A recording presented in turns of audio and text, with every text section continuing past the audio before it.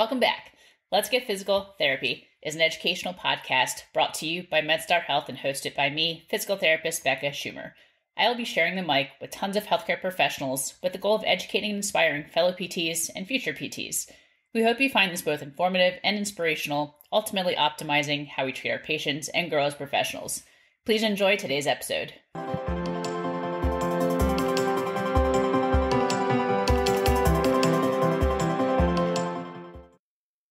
Today on the podcast, I am very excited to host my colleague, Mackenzie MacBain.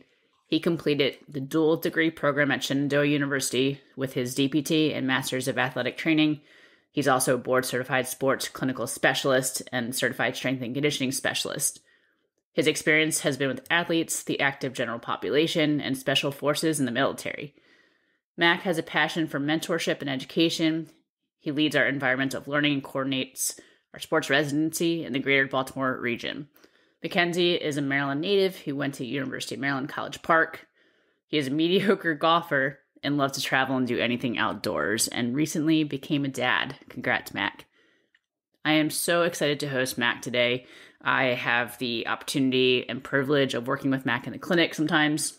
Uh, he is an incredible teacher, and I'm, I'm really excited just to bring this topic to you because I feel like it's often not talked about enough with regards to the neurological aspects when we have a surgery, and not just ACL, but really any any surgery where we have muscle inhibition. So, as we wrap up our series on ACL surgery, I am excited to have this conversation with Mac, and again learn about the neurological impact of having a surgery. Mac, welcome to the podcast. How's it going today? Thank you, thank you. It's going well. Good. Waking up, get my coffee here, ready to go. But no, I'm doing well. Thanks for having me. Yep. I know the people that are listening don't know what time it is, but it's pretty early, but I'm a morning person ready to go. yeah. So. Yeah. My my daughter got me up extra early this morning. So I was uh I didn't really have a choice. This is good. there you go. This is our last episode on ACL recovery surgery. We have talked about this so much, but mm-hmm. really ACL's the topic could be its own podcast we haven't really spoken on the neurological component. So we've talked about the surgeries, we talked about different recoveries, how we treat our athletes, but I wanted to literally pick your brain about this topic.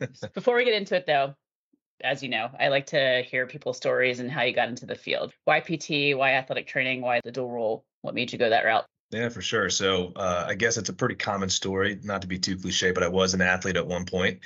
Not as athletic as I used to be, but I had gotten injured, went to PT. Thought it was pretty cool.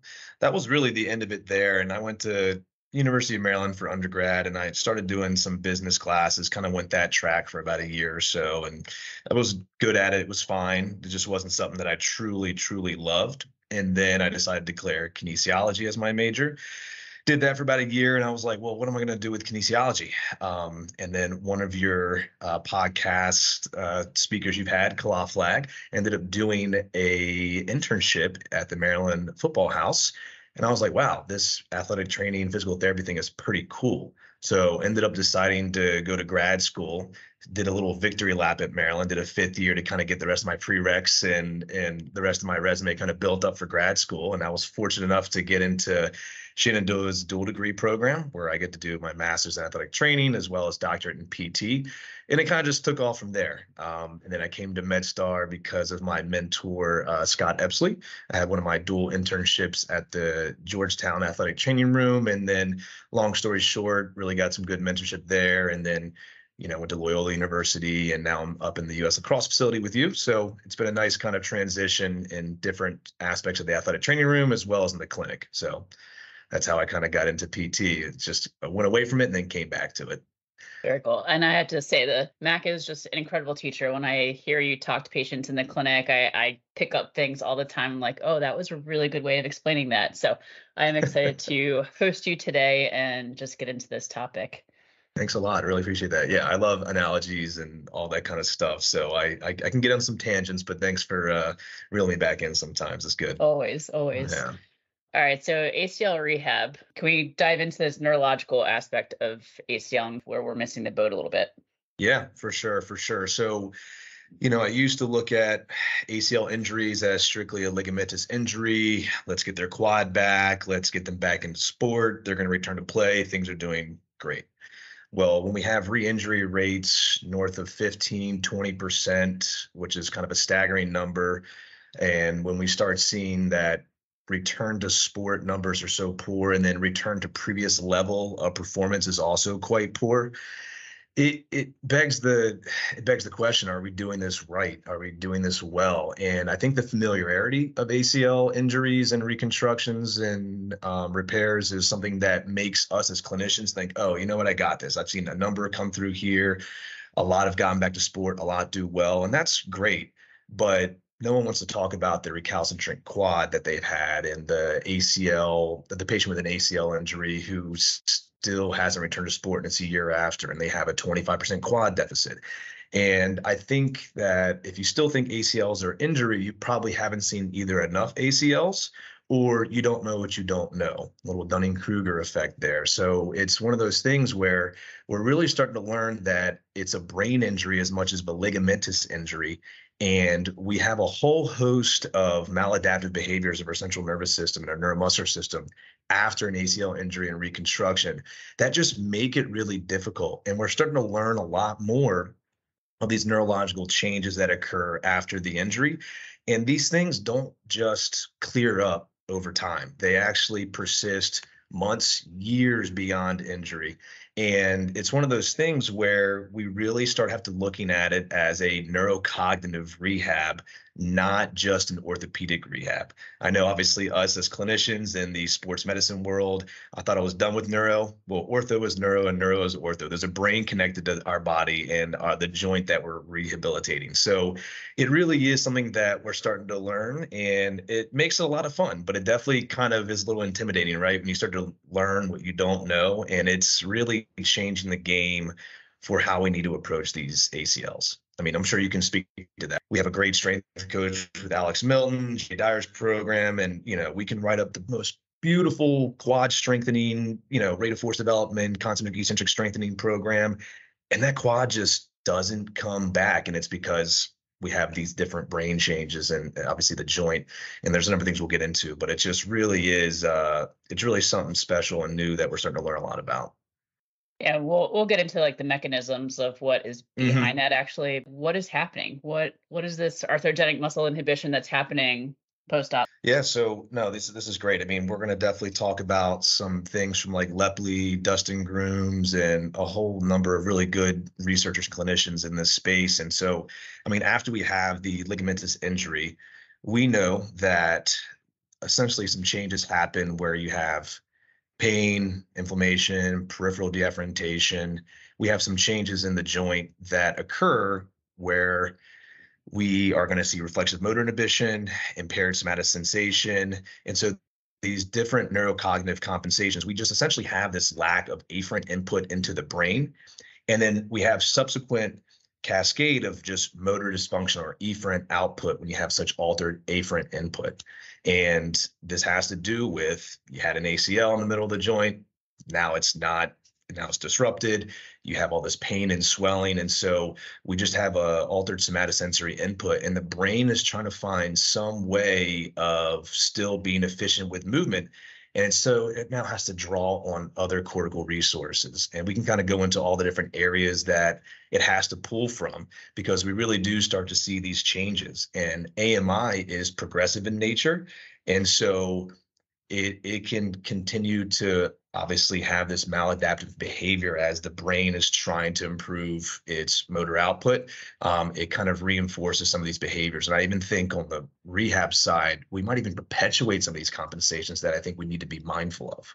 Yeah, we also have that loss of the mechanoreceptors in the ligament mm-hmm. itself that also impacts yep that, that chain as well. Not just the disruption of mechanoreceptors, but also the the disuse just again reinforces this cycle. So where do we where do we start? How do we start? I mean, we can go more into the science behind it, which I think is is beneficial, but you're talking yeah. about these other areas in the brain that have to pick up the slack of that area that's not working as well. What does that look like in our patients? Yeah, so I do think that knowing where to start we can kind of keep diving into the science and understanding all right so if these are certain areas that are going to be the compensatory mechanism of our acl reconstructed knee and athlete then we need to work on upweighting the systems that we want to train and decrease input for the ones that we know they're going to compensate for. So for example you know movement we have proprioception vestibular vision. These are all resources that our brain is drawing on to produce movement and so after the injury, right, we have uh, a decrease in proprioception. And so our brain is going to be really heavily investing and drawing more on like the vestibular and visual system. And so things that start to start to rely on in those systems, we need to essentially decrease input from the vestibular and visual system and increase proprioception. So you want to upweight the system that you want to train. And so that's things with like, I mean, you could do virtual reality if you have that, visual disturbances, you want to do cognitive motor function, functional tasks like visual motor dual tasks, and then you want to take away vision. I know they have these special glasses that kind of disrupt the visual system that you can put on and have them do like squats and have them do squats where they kind of call out different numbers or math problems that you're having them do or have them do head turns while they kind of do different squats and things like that. And so we want to upweight, you know, the proprioceptive system. So careful with putting them on compliant surfaces, for example, early on in rehab. I know we talk about doing let's say stability training and things of that nature and i'm guilty of it i've definitely used the the foam pad or the bosu ball and i'm thinking i'm doing you know some sort of uh, you know some sort of stability training and what we're actually learning is is that if you're doing that early on when the brain is starving for more afferent input from an injury that they had and you're essentially putting a tendon in place of the ligament and they have all this pain swelling and peripheral deafferentation you're now taking away the one thing that they're actually relying on, which is some kind of input from the ground and where their knee is in space, and you're taking it away. And then we're having them do a task that essentially further perpetuates and helps them or makes them more reliant on their vestibular and visual system. So it's one of those things where we need to be mindful of okay, uh, we're going to be having changes in the brain where we have a lot of like visual motor changes and changes in the speed and imagery. We have essentially you know changes in how the cerebellum processes movement errors and things of that nature and we just need to be mindful of how we want to increase proprioceptive input. And so that's one thing that I, I think is really important for us to remember as clinicians is that just how the mechanisms of what we're implementing actually might not have the effect that we think it's having. You bring up a good point too. We're often eager to make rehab a little more exciting, but in that yep. beginning period, working on that pain reduction and, and swelling reduction is so huge because if the patient is having pain and then they're protecting their joint and they're not going to fire the muscle correctly, then it just reinforces the AMI yeah. and just prolongs that. So not not skipping the beginning part. Yep, exactly, exactly. And so one of those other things we can do too to just kind of help mitigate some of the AMI is, you know, understanding that, you know, they're going to have reduced cortical excitability, so they're going to have increased motor thresholds and interesting enough, these changes are bilateral um, and so what we want to do is is we want to like be measuring quad strength early and often and bilaterally. And we want to see these quad increase, you know, the quad strength increases bilaterally as we're going through rehab. And AMI is something that we can't see. Just assume that your patient has it. And we need to attack these things early on. So early on, things that we can do to, you know, help mitigate some of this is uh, focal joint cooling, um, like NMES. I used to be really against modalities. I was like, you know, we need to get these patients moving, but we can use some passive modalities to our advantage and using things that can help modulate pain can help with the recruitment of the quad.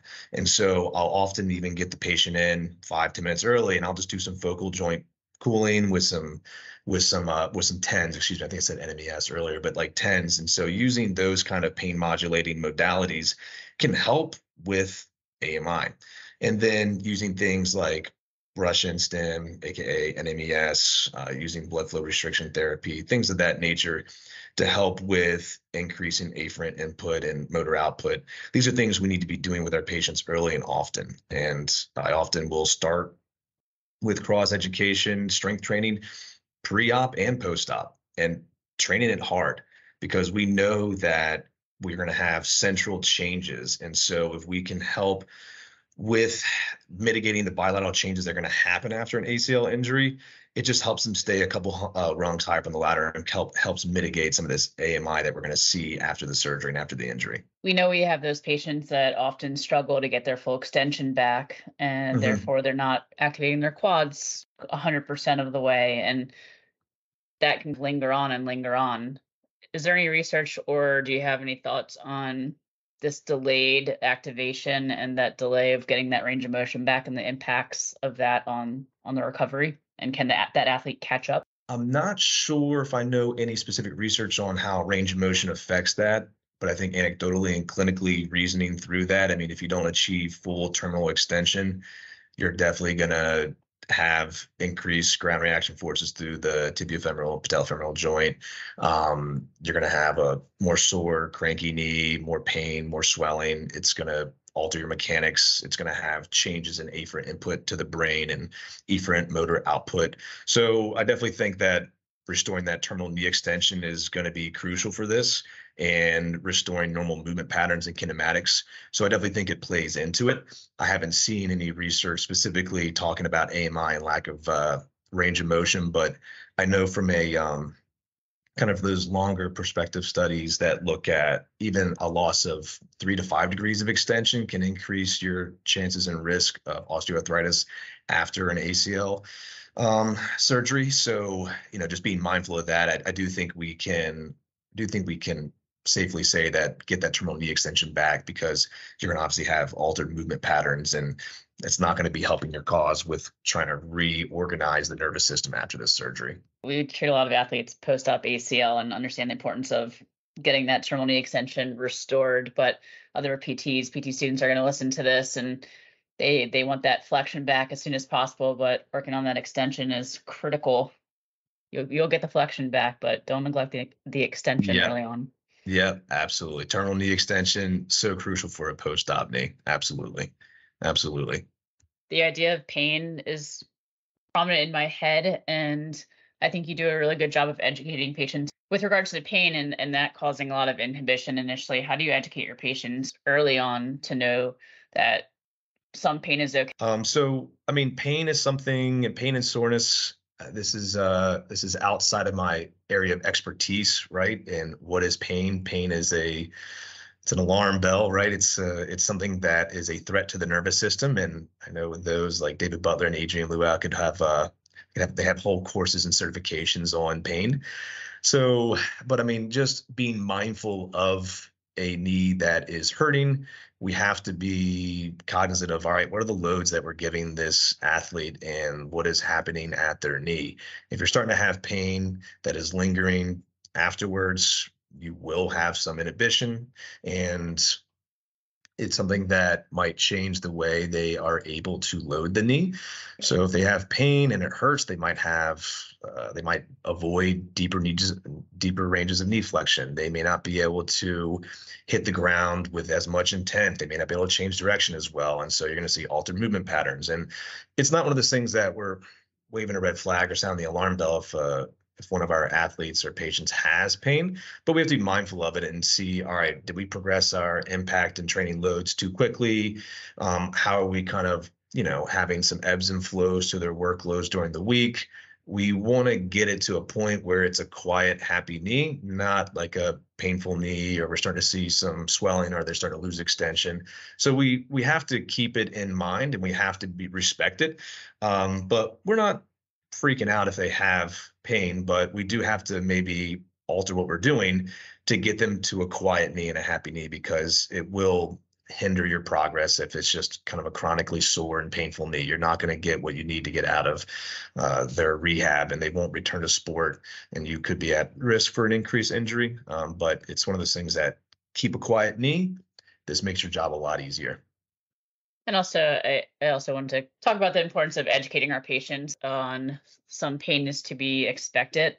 But mm-hmm. if and if we don't build that relationship with our patient, they're not communicating those things to us, then again we just enter this vicious cycle of it hurts, the signals aren't getting sent, the brain pathways are not getting addressed and then that inhibition occurs and we just stay in this loop yeah. not igno- not ignoring pain but just normalizing the pain and and finding ways to work through it so that the athlete's not compensating and, and just pushing through in, in a time where they really shouldn't be.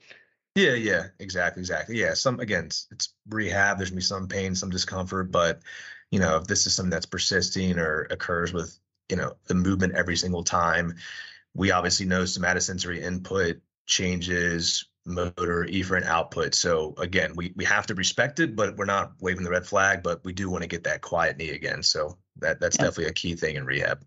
Yep. The the studies that you share with me, and I'm going to link those in the description of the podcast. Um, but one of them alluded to the fact that with muscle atrophy in the presence of AMI, that just their X strength training is not going to cut it so what do we do? What do we do with these patients that we're we're identifying that AMI is very it's present often? Yeah. When we identify this issue, like what do we do in addition? I know you talked about the use of the visual, changing yep. the visual effect. What else can we do as PTs with these patients? Yeah. So I mean, definitely always assume they have AMI, and I guess going into more of the science behind like TENS and uh, like pre-session cooling. So TENS is going to alter EEG cortical rhythms secondary to like sensory level and noxious stimulation. It's going to help with it's going to disinhibit volitional quad activation. Um, NMES or Russian improves cortical spinal excitability, augmented with some BFR. So just trying to look at those like pathways. Um, that's definitely one place to start where just use modalities to your advantage. Again, I, I, mentioned earlier that I was against them. Now I'm like really pro them for the post-op knee, particularly. And other things we can do are taking their focus of attention uh, away from internal cues and, and using an external focus of attention and thinking about like target based external focus or external cues, things like that, that take it away from internal cues and putting it external is better for learning. And I actually just saw this uh, article, and it hasn't. I don't have access to it. I actually just emailed the uh, the authors today, but essentially it is um, David Sherman and all, and it's brain activation and signal imbalance following ACL reconstruction. And there's different things with what they're looking at, and I don't want to butcher the article because I haven't read it, and this is just based on the abstract that I have access to but essentially uh, a target-based external focus of attention um, may decrease motor planning neural activity. So, you know, us using external cues is definitely something that's helpful. And then with their somatosensory integration uh, for postural stability, that is decreased bilaterally and motor planning is increased. So it's it's really interesting to see how we can modulate neural activity with cues. And so just being mindful of how we're even coaching an exercise. Like, don't say, straighten your knee or bend at the hips. You need to use things that engender like an external cue. So I'll often use like a positive shin angle where they have to do a squat to where a knee gets somewhere, or you can use like laser pointers and things of that nature. So we need to make sure we use external focus of attention. And that's going to be super important and often early on too right when you're doing your bread and butter exercises that a lot of acls are going to have with like quad sets and straight leg raises and things of that nature you can make that a cognitive challenge. You can make that a dual motor task. So when they're doing quad sets, you can have them do like a math problem. When they're doing some gait retraining, why not throw a lacrosse stick in their hand or have something else where it's like head turns and things of that nature, right? Where we're we're trying to take away from their vision and vestibular system that we know they're going to increase reliance on and make them essentially mitigate their neural compensations with these cognitive neural resources for motor control that they're going to use. Does that make sense? Absolutely. Yeah. And yeah. as you're as you're talking, I'm thinking about how draining this process can be. Oh my God, like yeah. When you start to use that brain energy more and not rely on our, our bodies are very good cheaters. They like to go the path of least resistance. And we don't know, kind of like what you said before, we don't know what we don't know. Mm-hmm. And all the more reason to I mean, we treat a lot of kids and high school athletes they want to be on their phones and they're distracted while they're there so you just made me think of just the importance of being present with the treatment and, and focusing on what you're doing the task at hand or else these patterns are just going to get reinforced for sure for sure yeah and it's it's really interesting right so i even think and you might agree with me here where the better the athlete and as you get to a professional athlete, I almost call them professional compensators. And what I mean by that is, is that their neuromuscular system is so advanced and so efficient and good at what they do, they can accomplish a movement task even in a kind of a hectic, crazy environment without using their quad. And you know, the stress shielding of the quad and the knee is definitely something that's going to happen with AMI. They have weak quads. So if you tell them to squat, their brain is going to think, all right, what's the easiest way? What's the most efficient way I can get this movement done? And they're going to shift loads, and it may look perfect visually, right? And they're going to shift loads away from the quad to their glute, back extensors, whatever else it is. And that's why you just can't assume that you give this ACL patient a movement and that it's a quad exercise or you tell them to hop mm-hmm. from this distance to that distance right? The gold standard for one of the gold standards for clearing someone who's ready to return to sport with an acl injury. And you tell them to hop from one line to the other and you go okay cool yep it's a pretty good quad exercise. I'm really developing their quads and their eccentric landing strength etc and their brain thinks to themselves all right how can i get from there to there in the easiest way possible. And it doesn't just use the quad. So we really have to construct their environment. I'm really big on external constraints where you have to engender a positive shin angle, upright torso, get the heel up. You know, there's a, a load of ways you can you can construct an exercise or have them do a movement where they're going to be forced to use their quad more often. So an example would be hop testing. I often will sometimes have them literally hop backwards. It's pretty hard to use your hip and your calf going backwards in the sagittal plane. You really need your quad for it. Or if they're hopping, I'll have them hold a ball above their head, which engenders a more upright, positive trunk position. Or I'll have them hop where their knee has to come forward and touch a uh, like a foam roller. You know, there's different ways you can do this, right? But you need to definitely use external constraints to get the movements and let's say to kind of allocate more stress to the quad and the knee than just having them do it in their own movement selection kind of you know like menu where they you need to construct it for them you can't just tell them to do it and assume it's going to work their quad yep. Can you explain this positive shin angle for mm-hmm. the, the pt students out there? Yep. So i'm just talking about how you need to get that knee over the toe at some point and you need to start it early and you need to start it often and just grade the load in that position. Um, knees over toes isn't bad for the patellofemoral joint the tibiofemoral joint um, and it's a position that they're going to have to be in in sport and this kind of uh, goes back to one of one of my favorite papers is Scott Dye has a envelope of function paper and what that essentially talks about is tissue homeostasis of, let's say, the knee joint, and how if you systematically progress loads, the knee will adapt to those loads. And so often early on, I will work on positive shin angle, in a tolerated position, right? If it's early post op, they're not going to be doing a very deep squat with a knee that's far past the toe, where it's a lot of knee flexion, a lot more quad dominant. But we do need to expose them to it and gradually increase the demands of that position with weight, strength, speed, etc. So I will often get that position early on so they start to get comfortable with it and then progress it accordingly so they continue to adapt. But if you avoid, let's say, a positive shin angle, which means more quad dominant and deeper ranges of knee flexion for a long time, and then all of a sudden you introduce it in like movement with like running and change of direction, that's a massive spike in load where you're going to come back with a pretty angry knee. It might get a little sore, might get a little swollen. So it's just one of those things that begin early, progressively loaded up, and you'll avoid a lot more of a headache because that knee will be tolerant to those types of positions and forces later on in rehab where they got to be for return to sport. And I know with the BTB graft that might be a little slower, but there's certainly mm-hmm. ways that we can still allow the knee to come forward without stressing that tendon and and compromising that. Yep, absolutely. Yeah, everyone's entry point will be a little different based on maybe pre-existing patellofemoral joint changes, the type of graft they have, other other things that might affect how good that position feels. But you have to start somewhere and then find that entry point into loading that's tolerated and build it up from there. So Definitely. great point. With regards to the different graft types, we have this ligamentous injury, so we know all these things are happening in our brain.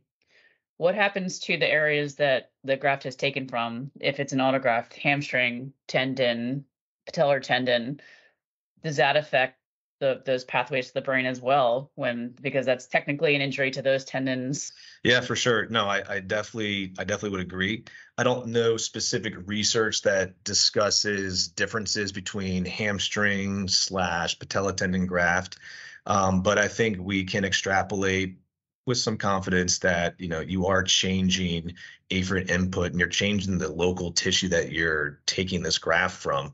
Um, and some I've even discussed this with some friends and colleagues where you know you take the middle third of the patella tendon, you, it's kind of a surgically induced you know tendon injury where yeah. you can kind of look at it from a tendinopathy perspective where you might have some just cortical inhibition from a surgically induced tendinopathy or tendon injury. So a lot of those things that we're doing to help AMI with an ACL reconstructed or repaired knee kind of translates well to some of the tendon research we know because this goes into like Jill Cook's work and Ebonie Rio's work where you do have cortical inhibition with tendinopathies. And so different things with isometrics concentric eccentric work and loading and there's even some tendon neuroplastic training with like doing contractions with a metronome right? You have an external auditory stimulus that helps kind of reduce this this inhibition. So an analogy, right? Since you know I talk to my patients a lot with analogies, you know, my analogy is is when you have inhibition, your brain is putting the foot on the gas pedal and the brake at the same time. When we do certain interventions, let's say if it's a tendon, you know, I talk about the metronome, it helps your brain keep the foot on the gas pedal and take the other foot off the brake. And so I definitely think that when you take a you know a graft site from another location that's a tendon you might be contributing for sure to some of this uh, some of these changes we see in the nervous system uh, from an ami perspective. So you know also still target those areas from the graft site and just understand how that might influence your rehab as well. And I wonder, it's obviously a little too early to know this, but down the road, many, many years, it'd be interesting to study the differences between ACL reconstruction and ACL repair. And is there any difference in these brain changes?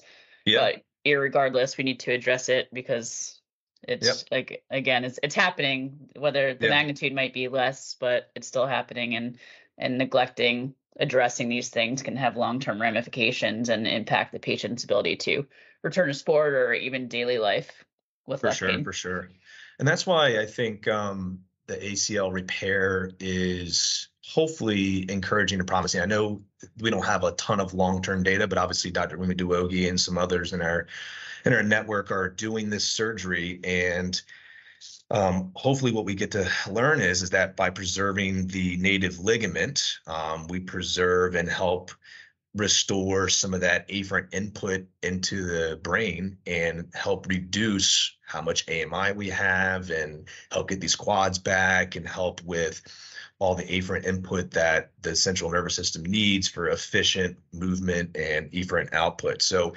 maybe there's more to that story. I know that's like almost another podcast in itself. you know, there's some studies that are really supportive of it, but also some studies that say you got to choose the right patient and it has to be the right kind of tear to be the one you want to repair. But you know that that is, I think, what is maybe speaking to that surgery is that you know if you can restore and maintain that native ligament and let it heal you you know obviously have a lot of different proprioceptive qualities in a ACL and a ligament than you do in a tendon. So um, it probably helps the central nervous system reorganize a little better and more effectively when you can repair it than not. But again, I say that anecdotally, we don't have long, strong, like long-term strong evidence just yet, but it's definitely growing. So I look forward to maybe when we revisit this podcast in a couple years or five to ten years, and maybe that's what, what we're really going to be confident in. So mm-hmm.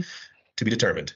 Yep. Again, we know that these changes can take up to you know, two years, even more, to return to normalcy. How does the later stages of rehab look? And, you know, once we get to those later stages, there's so much going on between getting stronger, the plyometrics, the contact stuff. There's a lot to juggle in those later stages of ACL rehab. So, how do we ensure that we're not just stopping thinking or considering about these neurological changes that we still need to be addressing, not let that ball drop? Yeah, yeah. So I think it's important to note too that you know the time frame of six months, one year, two years. I mean, these changes that occur can persist indefinitely if they're not addressed. And so um, I do think the things that we can do in the later stages of rehab will help reduce or mitigate these neural compensations that we know with AMI. And so some things that we can do are going to be direct visual disruption, um, indirect stuff that you can do uh, is going to be dual pass, reactionary type drills. So for example, if you're doing an exercise and you have like let's say it's one two and three right and you have a number and you're like one is a single leg squat two is a lateral bound or and three is a double leg squat or whatever it may be right? You pick and choose what you're doing. They have to react to they have to do the movement and react to what you're putting out and you know what you're visually giving them like a one two or three with your fingers or it could be they're running at you and you call a color out and you have a a number of cones around you. We have to change direction reactionarily and then cut and go to that other color cone. And so these types of things where we start involving decision making and there's a cognitive challenge, right?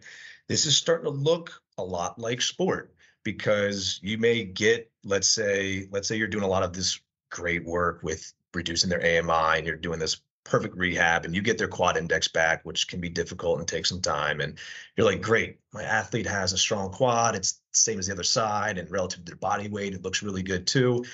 Well, that knee has a brain attached to it, and sport is chaotic. And this goes into Alan and Matt, I think it's Taberner's um, control to chaos continuum, where we need to start exposing this quad, right? This thing that is maybe strong in its own isolated environment into a very chaotic environment that's going to emulate and simulate sports. And so, what they look at in the control to chaos continuum is starting out with controlled, predictable environments, right? And then progressing along the continuum to be more and more chaotic, meaning more unpredictable, reactionary type movements, eh, you know, going from small to big drills, going from well, maybe only them by themselves on a field to other teammates and athletes. And you can you get the point right? And we'll definitely i think add this to the show notes and make sure people see this article because it's really important that these later stages of rehab don't get rushed because i think everyone gets really excited when they have 90% limb symmetry and they pass their hop testing which you know for another discussion, we could even talk about how well clearly we're missing a lot of these uh, re-injuries that are getting cleared. But in this return to play, we should not rush this part of the continuum because these changes from the central nervous system and the neuromuscular adaptations that happen with all these different cognitive loads and reactionary type environments, we need to take a lot of time to allow them to adapt and improve in how they're processing attention and how they're responding because that is something that is altered in the post-op knee and we have to make sure that they're we're kind of giving these neurocognitive challenges in rehab to prepare them for return to sport. A lot of times too with um, these attentional demands of the control to chaos um, continuum um, i know that we, are starting to learn that attention influences ongoing sensory integration and neural activity. So again, it's it's a lot of this feed forward feedback type mechanism, um, and there is what we can call like endogenous or top down attention or exogenous bottom up. So we we have to be really really mindful of how we are giving them different cognitive demands and return to sport demands that prepare them for what they're going to have to go back to because again that quad doesn't exist in an isolated environment. It's attached to a brain a neuromuscular system and a lot of the things that go into movement are beyond just strength measures. We've got some good stuff in here not necessarily related to ami but as we wrap up this acl series are there any other pearls of wisdom you want to drop on this crowd with regards to ACL rehab? um, I I think that we just have to really stay humble with ACL rehab. I think we're just learning a lot more each year with all these different studies and researchers and clinicians out there with just all these changes that occur in the nervous system. Um, and so uh, there's another another person I like to I'm to name drop Meredith Chaput I think her last name is. Um, and so you know she's also uh, someone that works with like Dustin Grooms and as a PhD candidate. I want to give her a shout out. I do like a lot of her work and she's been really good in pushing some of these uh, rehab principles in, in, in our space. And so it's just one of those things that keep reading those kind of authors and clinicians and researchers because that's where we're really starting to learn about these brain changes because you cannot measure AMI in the clinic. You need you need machinery, you need some fancy science tools. And so that's why it's one of those things where it's hard as a clinician to measure AMI, but you have to treat it like everyone has it. And it's one of those things that as we keep learning more, we're learning more and more that it's the brain that is in control and we have to treat the brain with the knee. And that's that's my biggest thing is just keep reading, keep following smart people, maybe uh, you know maybe reach out to them because there's often a lot of uh, articles that um, I'm finding that get printed on the weekly and like for example that one i just referenced earlier it's it's like one of those things where they're always willing to share what they know and what they've done and it's just uh, take advantage of your scientific community and and really keep learning and, and ask for help sometimes perfect Mac, we like to end our podcast asking our guests, what is your favorite quote? What moves you, drives you, motivates you? What's your favorite so, quote? Yep, favorite quote of mine is uh it's a quote that I I picked up when I was actually at uh, Exos for one of my rotations, and it um it, the quote is as to methods there may be a million and then some, but principles are few. The man who grasps principles can successfully select his own methods. The man who tries methods ignoring principles is sure to have trouble. So what that that quote saying is essentially is that principles over methods. You want to understand the mechanisms behind what we're doing and then you'll be able to better apply it across different patients and different types of pathologies and clinical presentations. If you're just choosing something because it worked one time, you're sure to have trouble because it may not apply to the next patient or pathology or clinical presentation you see. You have to understand the mechanisms behind it. And so I'm really big on principles and kind of always questioning our methods and questioning our principles because that's where growth happens and and that's what makes someone a good clinical reasoner and that's how we really make progress uh, in our field so it's one of my favorite quotes and kind of how i operate in the clinic and and also beyond. Where can people find you? Where are you treating patients? I know you just uh, got promoted to director of the Environment of Learning, so I know you're doing a lot of things all over the place. So, where where can people find you? So I'm not really big on social media. Um, I do consume it quite a bit, but I'm not a big uh, producer of content. Um, people can find me via email, and uh, I'm sure you can post that in the link notes. And um, often uh, that's the easiest way to get a hold of me. And you know, I'm always uh, down for a quick phone call. I definitely have uh, conversations with people all the time about what we're what we're doing, where we're going, things of that nature. So, yeah, I, I um, that's the best way to find me. Sweet, Mac. Again, I appreciate your time. I know you got a lot going on, so thank you for taking the time to chat with us today. Thanks a lot, Becca. Really appreciate it. Yep. Thanks for listening to the Let's Get Physical Therapy podcast. Be sure to subscribe to our podcast and follow us on Instagram at MedStar Health PT. If you've enjoyed today's episode, please give us a five star rating and leave a review so we can reach more listeners just like you. As always, we appreciate your time and hope you join us for our next episode.